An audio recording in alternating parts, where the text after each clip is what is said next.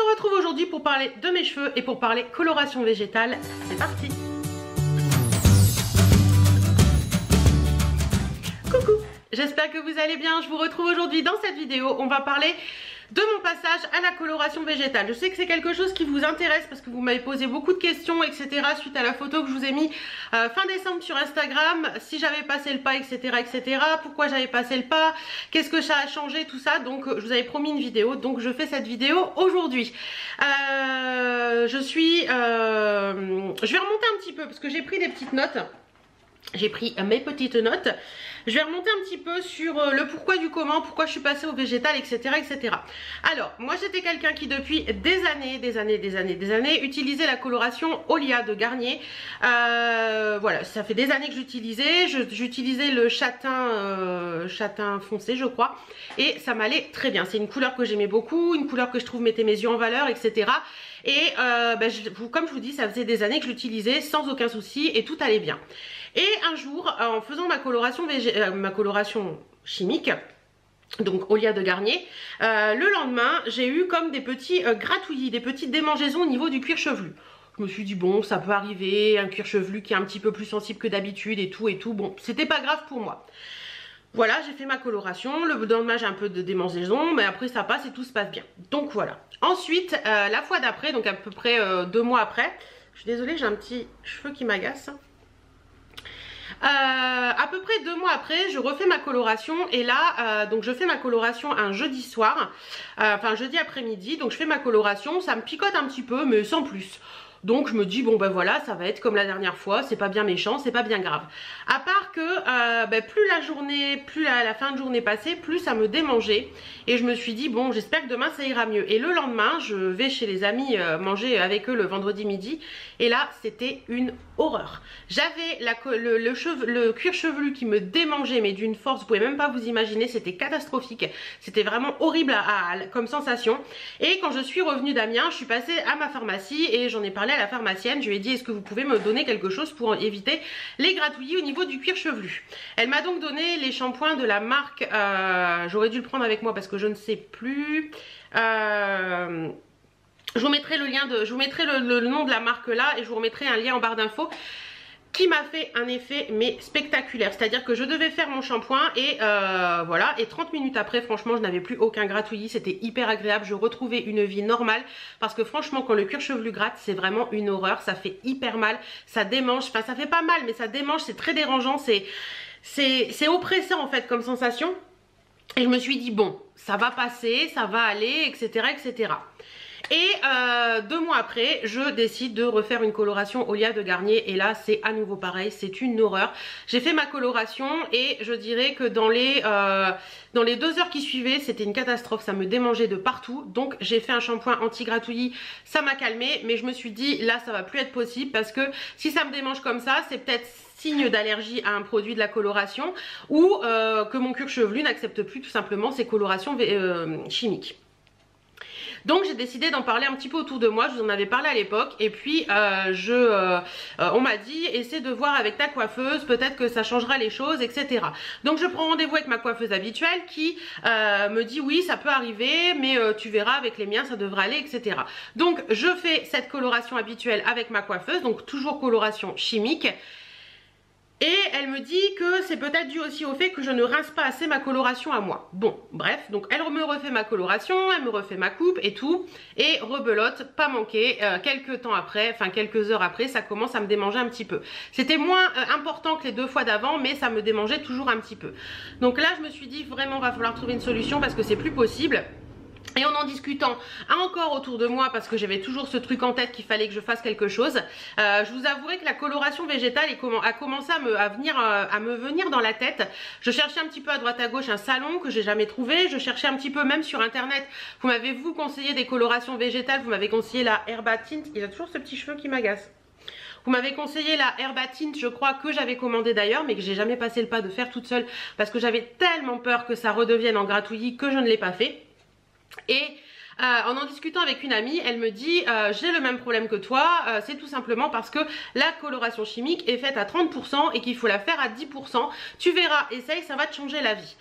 Donc je prends rendez-vous avec sa coiffeuse à elle qui me fait cette coloration chimique à 10% et c'est vrai que euh, le jour de la coloration ça allait plutôt pas mal. Donc j'étais plutôt contente, je me suis dit yes, j'ai enfin trouvé la solution, je vais être beaucoup mieux, ça va être beaucoup plus évident pour moi et tout. Et le lendemain matin, rebelote, ça me démangeait, alors pas vraiment au niveau du cuir chevelu mais plus au niveau du bas, de l'arrière du crâne, euh, en haut de la nuque en fait et je me suis dit, c'est quand même bizarre. Alors la coiffeuse m'avait bien dit, je pense que ça vient de... La, deuxième coiffeuse m'avait bien dit, je pense que ça, ça vient d'un manque de euh, rinçage. Et là, je me suis dit, ça peut être possible parce que, en fait, si vous voulez, quand vous êtes sur le bac à shampoing, vous avez votre nuque qui appuie. Donc elle avait bien rincé là, mais peut-être un peu moins rincé au niveau du bas de la nuque. Mais dans ma tête, je me suis dit, si à chaque fois ça me démange comme ça, s'il faut rincer, rincer, rincer, rincer pour éviter les démangeaisons, c'est quand même pas normal. Et je me suis dit, il faut vraiment que tu passes à la coloration végétale. J'en ai beaucoup parlé avec vous, vous m'avez beaucoup conseillé, etc. Et puis un jour ma maman revient, me téléphone et me dit au fait j'ai trouvé, euh, parce que je lui en avais parlé etc. Hein, donc j'ai trouvé un salon, je me suis promenée dans la ville et j'ai trouvé un salon qui s'appelle Alternative qui propose de la coloration végétale. Je suis rentrée parce que c'était marqué entrée si vous voulez des renseignements sur la porte. Donc ma maman est rentrée, elle en a discuté avec la patronne et la patronne lui a dit n'hésitez pas à dire à votre fille de passer me voir et on en discutera avec elle. Donc, euh, ni une ni deux, euh, bah, j'étais sur Abbeville quelques jours après. J'étais dans ce, dans, cette, euh, dans ce salon de coiffure d'Abbeville qui s'appelle Alternative. Je vous le redis, je vous mettrai son nom là et je vous mettrai tous les liens en barre d'infos de toute façon. C'est ce, ce salon-là. Voilà. Donc euh, je prends je pas rendez-vous, j'y vais directement, donc je lui explique que ma maman est passée, etc. Elle se souvenait de ma maman et je lui dis voilà, je, lui réexplique mon cas en détail. Et la coiffeuse me dit est-ce que vous avez 20 minutes devant vous? On se pose et je vous explique tout. Donc oui, j'avais 20 minutes devant moi, donc on s'est posé, elle a regardé ma nature de cheveux, elle a regardé mes cheveux, elle m'a dit que clairement mes cheveux avaient une surdose de coloration au niveau des pointes et avaient euh, beaucoup moins de surdose de coloration au niveau du cuir chevelu. Et là, elle me dit, vous, je pense que vous êtes quelqu'un qui ne faites pas vos racines et ensuite vos longueurs, mais vous faites la totalité de vos cheveux à chaque fois. Je lui dis, oui, c'est vrai, totalement vrai. Donc elle me dit, ce pourquoi vous avez eu un surplus de coloration au niveau des pointes. Ok, bon bref, voilà, tout le temps passe, etc. Elle m'explique un petit peu comment eux vont faire les choses. Je vous expliquerai ça après puisque je l'ai pratiqué maintenant, donc je vous expliquerai tout ça après. Et donc elle m'explique un petit peu comment ils vont faire les choses. Elle m'explique aussi que si je veux garder une couleur comme la mienne assez foncée, ça va être assez compliqué parce que c'est une coloration en plusieurs étapes pour passer quand on utilise le végétal. Pour le végétal, en fait, plus les couleurs sont foncées, plus c'est difficile de les avoir. Donc, elle m'explique tout ça et tout et tout. Et euh, j'étais hyper partante. Par contre, je venais de faire ma coloration 15 euh, jours avant. Ma, ma, dernière coloration chimique 15 jours avant. J'étais hyper partante, je prends rendez-vous pour la semaine d'après, j'étais super contente, voilà, je vous en avais parlé à l'époque et tout, j'étais hyper contente. Et dans ma tête, ça trotte un petit peu. J'en parle avec mon mari, etc. Et la coiffeuse m'avait également dit, je ne peux pas vous dire ce que ça fera sur vos cheveux blancs parce que comme voilà, votre coloration chimique n'est pas très ancienne, on ne voit pas encore vos cheveux blancs. Et je me suis dit, c'est quand même enfin, c'est quand même dommage de, euh, de passer directement au végétal, sachant que j'ai pas encore de cheveux blancs, que je ne sais pas comment, euh, de passer maintenant au végétal, je voulais dire. Parce que mes cheveux blancs je les ai pas encore, ils sont pas encore revenus. Donc je ne verrai pas exactement ce que ça donne sur les cheveux blancs. Et puis euh, je me suis dit c'est peut-être un peu rapide 15 jours après la coloration chimique Donc je vais attendre. Donc ça c'était euh, début novembre. Et euh, donc j'ai décidé d'attendre que mes cheveux repoussent Que ma coloration chimique s'estompe un petit peu Et bien sûr que mes cheveux blancs que j'ai. J'ai une grosse touffe là de cheveux blancs en fait Quand ma coloration n'est pas faite réapparaissent. Donc euh, j'ai attendu tout le mois de novembre et tout le mois de décembre. Vous savez qu'au mois de décembre été hyper hyper occupée et je n'avais pas forcément le temps de faire ça. Dernière semaine de décembre, on était en vacances avec mon chéri et j'ai décidé de prendre rendez-vous. Donc je suis allée euh, chercher mon fromage pour la Noël pour Noël euh, le 20, euh, je sais plus, le 23, je crois, le 23 décembre. Et je suis donc passée euh, chez le coiffeur pour demander un rendez-vous. Rendez-vous que j'ai eu, le, il est noté là, donc je ne sais plus bien, donc le 28 décembre. Donc j'avais rendez-vous le 28 décembre à 9h30. Alors je suis, je vous avouerai que je, je un petit peu, je flippettais un petit peu parce que je me suis dit, est-ce que je fais bien? Parce qu'elle m'avait clairement dit que je ne pourrais pas avoir une coloration foncée dans le sens où une coloration végétale a toujours plus ou moins des sous-tons un petit peu euh, cuivrés. Voilà, ça c'est à savoir, euh, mais je vous, vous, verrez bien, je vais vous en parler tout ça. Donc je prends rendez-vous pour le 28 décembre. Donc 28 décembre matin, 9h30, j'arrive au salon de coiffeur, au salon de coiffure et euh, bah, je suis pris en charge par, euh, par euh, trois personnes. Il y avait trois personnes au salon qui sont adorables. Franchement, c'est hyper agréable d'être dans ce salon. donc, elle me dit, bah écoutez, on va y aller, c'est parti. Donc, à la base, elle m'avait dit qu'on ferait peut-être un, un, masque à l'argile sur mes cheveux pour désengorger un petit peu toute la coloration, etc. si je venais début novembre. Mais là, étant donné que le temps avait passé et que ma coloration avait, elle s'était un peu estompée, elle m'a pas fait cette, ce dégorgement un petit peu, si je puis dire, de masque à l'argile. Donc, on est passé directement à la coloration. Donc elle m'a appliqué une première coloration sur mes cheveux, enfin une première... Euh, décoction on va dire de plantes, c'est à base de plantes les colorations végétales alors j'essaierai la prochaine fois que j'y vais de de lui demander si on peut filmer parce que je lui ai dit que j'étais youtubeuse et tout pour qu'elle vous explique un peu plus en détail. Mais euh, donc c'est une première base. Donc c'était une espèce de pâte comme un henné ceux qui connaissent le henné et donc elle m'applique ça sur, la, sur toute la chevelure et on laisse poser euh, et oui on laisse poser 30 euh, minutes je crois à peu près et là, euh, donc avant, oui, j'ai oublié un passage, c'est-à-dire que quand je suis arrivée dans le salon, elle me dit alors vous avez réfléchi, etc. Je lui dis oui, j'ai bien réfléchi, c'est pour ça que j'ai laissé repousser mes cheveux pour pouvoir avoir les cheveux blancs, pour pouvoir voir ce que ça donne exactement sur mes cheveux. Et euh, j'ai réfléchi également, j'avais regardé, parce qu'elle m'avait dit, je pense que si vous voulez euh, une coloration assez foncée comme la vôtre, il va falloir faire plusieurs pauses, deux, voire trois, voire quatre pauses. Et donc ça dure plus longtemps. Et c'est vrai que je me suis dit, ouais, passer, euh, elle m'avait dit, faut compter au moins 2h30 à 3h. Et c'est vrai que je me suis dit waouh ça va être long etc etc. Et puis euh, si vous voulez j'ai beaucoup réfléchi pendant ce mois et demi où, euh, où j'avais ça en tête. Et j'ai regardé pas mal de photos de moi parce que je suis passée à peu près par toutes les couleurs dans ma vie. J'ai été blond foncé, j'ai été rouille, rouille rousse, j'ai été rouge, j'ai été châtain, j'ai été châtain foncé comme j'étais là depuis quelques années.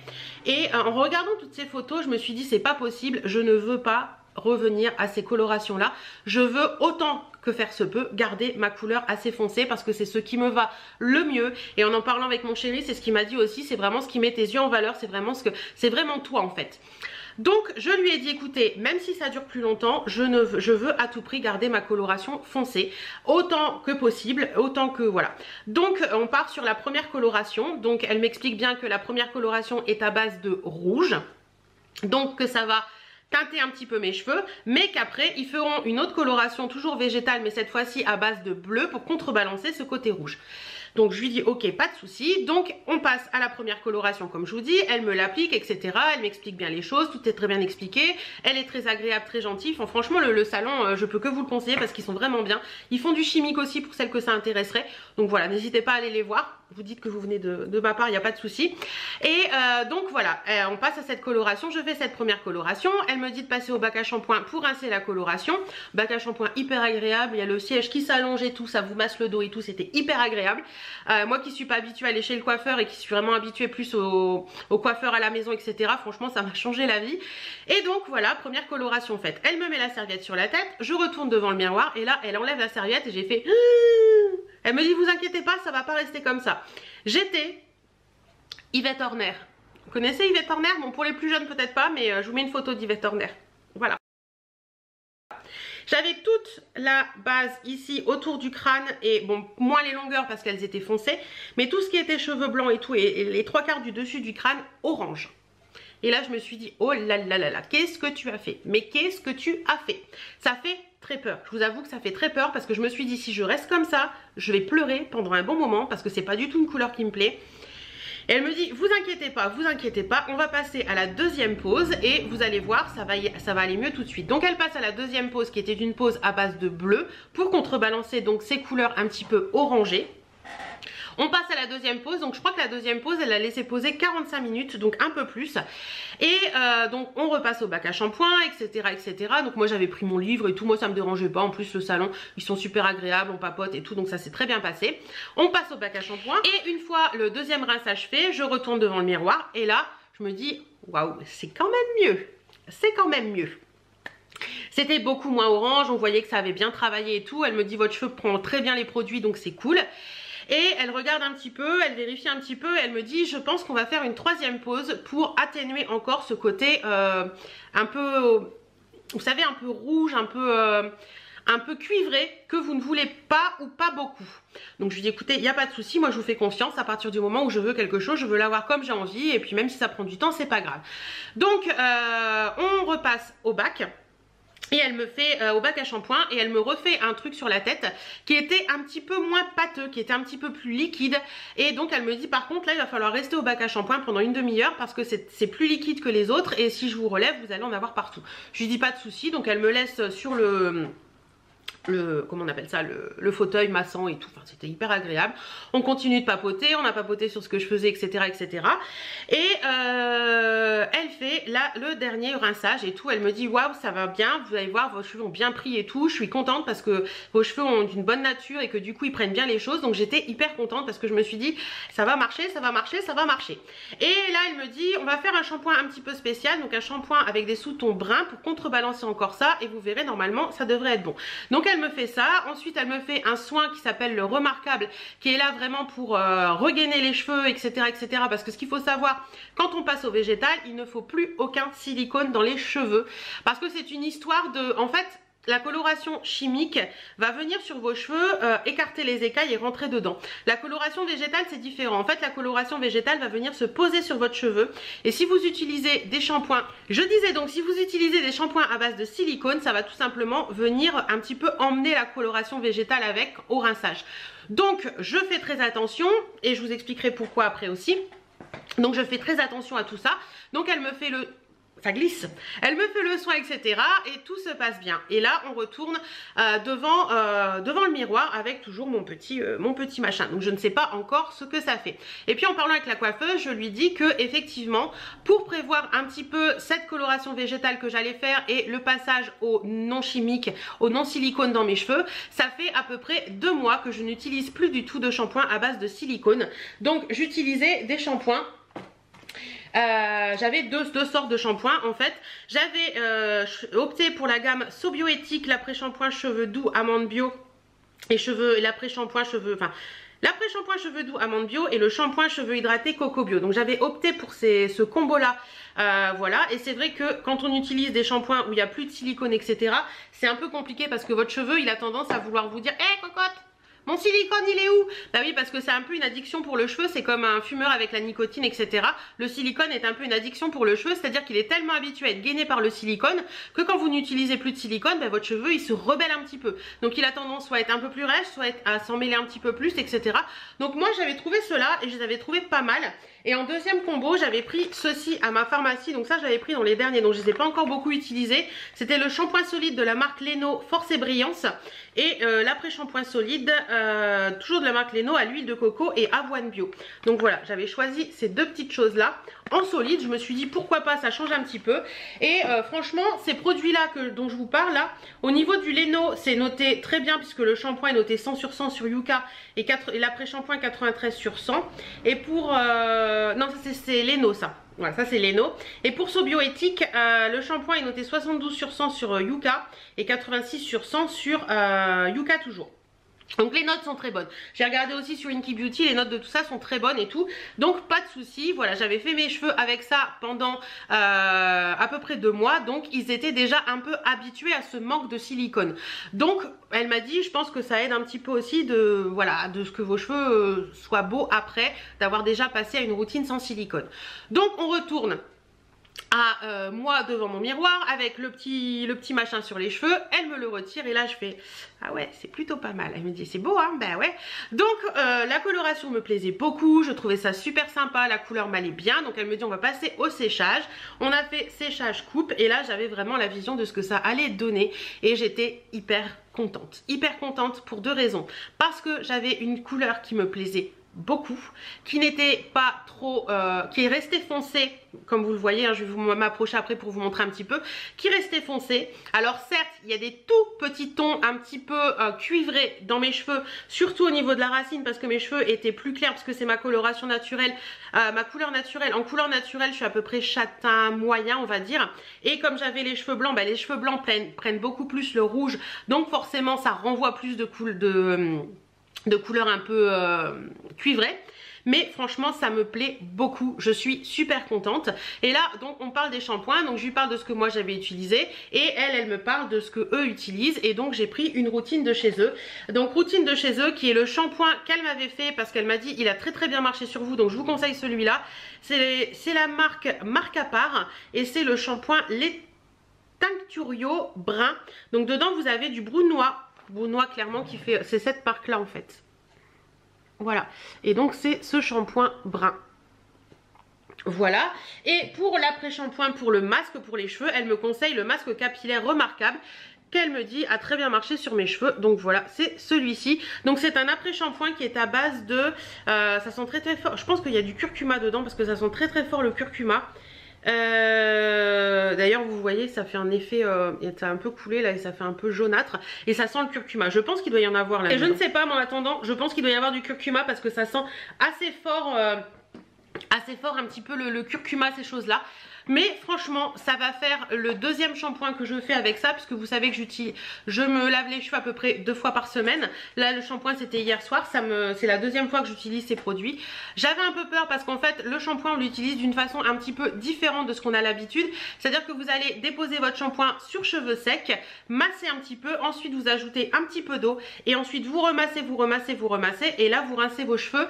Et pour l'après-shampoing, il faut vraiment, enfin le masque, il faut vraiment le poser au niveau du cuir chevelu et ensuite venir lisser sur toutes les longueurs. Donc voilà un petit peu, donc c'est un petit peu des changements à ce niveau-là pour la routine capillaire, mais franchement j'en suis très très très contente. Voilà, j'en suis contente. Je suis très contente de ma coloration végétale. Je n'ai eu aucun aucun gratuit, mais aucun. Franchement, ça, ça a été une révolution. J'en suis très contente. Au niveau du temps de pause, en tout, je suis rentrée à 9h30 chez le coiffeur et j'en suis ressortie à 13h30. Donc ça fait à peu près 4 heures. Pour certaines, vous allez me dire c'est très très très long, mais franchement, quand je suis ressortie de là, même si ça faisait 4 heures que j'étais chez le coiffeur, je me suis dit, tu as ce que tu veux, tu as une coloration qui te convient au niveau de la teinte, tu n'as plus de gratouillis, certes c'est 4 heures, mais franchement, je passerai le cap de le faire à chaque fois, parce que d'une, euh, bah, j'ai ce que je veux, d'une, j'ai plus de gratouillis, et de deux... Euh, elles sont très agréables au niveau, enfin là les coiffeuses sont vraiment très agréables et ça c'est juste parfait. Donc au niveau de mes cheveux, je vais vous montrer. Donc j'ai refait un petit peu ma coupe, là je les ai lissé un peu les pointes ce matin parce que j'ai toujours les pointes qui frisotent un petit peu. Donc voilà ce que ça donne. Je vais essayer de me rapprocher, je sais pas si vous allez bien voir. On voit un tout petit peu de, euh, au niveau des racines là, on voit un tout petit peu que c'est... Euh, un tout petit peu cuivré mais vraiment très léger. Mais vous voyez sinon mes cheveux sont bien brillants. Hein mes cheveux sont bien brillants, il n'y a pas de souci. Mes cheveux sont beaux, mes cheveux sont souples. Et j'ai remarqué une chose aussi, je vais essayer de me mettre à la lumière. Attendez, je vous embarque. Voilà, vous voyez un peu mieux là. Vous voyez au niveau de la couleur, on voit que au niveau de la racine, ça fait comme si j'avais un dégradé en fait. C'est parce que c'est mes cheveux qui sont comme ça. Donc le bas forcément est resté plus noir. Mais là vous voyez qu'il y a un petit peu de, coloration rousse mais très très très légère.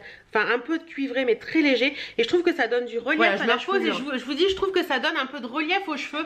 Le fait d'avoir euh, ce côté un petit peu plus... Euh, euh, un petit peu plus cuivré sur le haut mais très léger et les pointes un petit peu plus foncées. Donc j'aime beaucoup. Et ce que j'ai constaté aussi depuis bah, ça va faire 15 jours maintenant. Attendez. Non ça fait une grosse semaine. Ouais, ça fait une grosse semaine. Euh, quand je euh, me lavais les cheveux avant, je perdais beaucoup de cheveux. C'est-à-dire que je les brossais et euh, quand je me faisais le shampoing, j'avais toujours plein de cheveux dans les mains. Et j'ai remarqué que depuis que j'ai fait cette coloration, je perds beaucoup moins mes cheveux. Alors je sais pas si c'est dû à la coloration végétale ou quoi, ou qu'est-ce, j'en sais rien. Mais je trouve que je perds beaucoup moins mes cheveux qu'avant. Même au niveau de la maison, au niveau de la salle de bain et tout, quand je me brosse les cheveux, etc. Il y avait toujours plein de cheveux sur une étagère qui est à côté de, de là où je me brosse les cheveux. Et franchement, là je trouve que je les perds beaucoup beaucoup moins donc je pense que c'est aussi bénéfique pour mon cheveu d'avoir fait ça et que euh, ben, mon cheveu en avait besoin tout simplement. Donc voilà pour l'instant à J euh, le 28 28 29 30 31 1, 2, 3, 4 donc J plus 8 on va dire. Je suis très très très contente de cette coloration. Franchement j'en suis ravie. Ravie aussi du salon qui sont vraiment euh, remarquables, qui sont vraiment très très bien. Et vous allez me poser des questions, je pense, au niveau du tarif. Alors certes, au niveau du tarif, alors, je vous dirais que c'est pas donné, par rapport à ce que je faisais moi avant, clairement, puisque je faisais mes colorations chimiques à la maison. Donc clairement, ça me coûtait aller 10-12 balles à chaque fois. Mais voilà, plus le coiffeur qui me coûtait à peu près 20 ou 30 euros, 20, 20 euros, 25 euros je crois à chaque fois. Donc euh, je dirais qu'une coloration plus une coupe avant, ça me coûtait 40 euros. Actuellement là j'ai payé en sortie de coiffeur avec les produits donc le shampoing et l'après-shampoing j'ai payé 140 euros en sachant que là, le shampoing est à 15 euh, euros et l'après-shampoing est à 23 euh, donc ça fait 30, euh, 38 euros en moins. Donc je dirais qu'au niveau coloration pure vous en avez à peu près pour 100 euros. J'ai discuté avec ma copine coloration et coupe hein. Coloration coupe, vous en avez à peu près pour 100 euros. J'ai discuté avec ma copine qui fait une coloration chimique dans un grand salon sur Amiens. Elle en a pour 98 euros, je crois, elle m'a dit. Donc on est à peu près kiff kiff d'un coiffeur qui vous fait des soins etc. Donc au final je trouve que c'est cher par rapport à ce que je faisais avant mais c'est pas forcément beaucoup plus cher que si vous allez dans un salon qui vous propose des produits euh, voilà qui vous fait des colorations et des coupes voilà donc c'est pas forcément beaucoup beaucoup plus cher. Donc voilà un petit peu pour tout ça. Euh, si je dois conclure sur cette vidéo je dirais que si vous cherchez un coloriste végétal dans la Somme n'hésitez pas à aller à Abbeville au salon alternatif parce qu'elles sont géniales ces nanas et je pense que la prochaine fois que j'irai, je, je vous prendrai avec moi pour que euh, la patronne vous explique un petit peu comment ça se passe, etc. Je vous mets bien sûr les réseaux sociaux d'Alternative en barre d'infos. Je vous mets leur Instagram, leur Facebook. N'hésitez pas à, vous, leur poser des questions si vous avez besoin. En attendant, moi je suis ravie, plus que ravie, parce que je revis de pouvoir avoir des... Franchement, j'étais arrivée à un stade où je me disais, tu vas peut-être devoir rester avec tes cheveux blancs, quoi. Et ça, ça me, ça me prenait la tête. C'était quelque chose qui était compliqué pour moi parce que je ne veux pas rester avec ses cheveux blancs. Et c'était assez... Ouais, c'était... Ça me prenait un petit peu la tête, ça me prenait le moral et euh, franchement là depuis je revis parce que je sais que je peux avoir ce que je veux. Je sais que petit à petit bah, ma coloration chimique sur le bout des cheveux va s'en aller parce qu'on va comme elle me dit petit à petit vos cheveux vont pousser donc on va recouper encore un peu et à la longue j'aurai vraiment qu'une coloration végétale sur mes cheveux. Alors certes c'est un investissement, peut-être que tous les deux mois je vais devoir dépenser 90 euros mais je dépenserai peut-être moins sur d'autres choses etc. Donc franchement je suis très très très contente de ça et puis comme on dit par moment bah il y a un moment où euh, j'ai faut, peser la part des choses quoi. Donc pour moi 90 euros pour avoir la tranquillité d'être tranquille, d'avoir de beaux cheveux, d'avoir des cheveux qui tombent moins, d'avoir euh, plus de gratouilles etc. C'est pas énorme. Donc voilà, j'espère que cette vidéo vous aura plu. Si vous avez d'autres questions sur la coloration végétale que j'ai pu faire, je suis pas une pro là-dedans hein, mais si vous avez d'autres questions auxquelles je peux répondre, n'hésitez pas à les poser en commentaire. Si vous avez déjà eu affaire à un coloriste végétal, n'hésitez pas à vous donner vos impressions en barre d'infos, en, en commentaire bien entendu, barre d'infos vous n'y avez pas accès, vous pouvez juste la lire. En attendant, moi je vous fais plein plein plein de bisous. Je remercie le salon euh, Alternative euh, de m'avoir bien aiguillé, bien aidé, bien expliqué tout. Euh, et franchement ils sont au top Donc voilà merci beaucoup à vous Vous êtes une équipe au top J'ai apprécié, apprécié d'être chez vous J'ai apprécié ce moment donc c'est génial Voilà j'espère que cette vidéo vous aura plu Je vous fais d'énormes bisous Prenez soin de vous, portez-vous bien Et à très très bientôt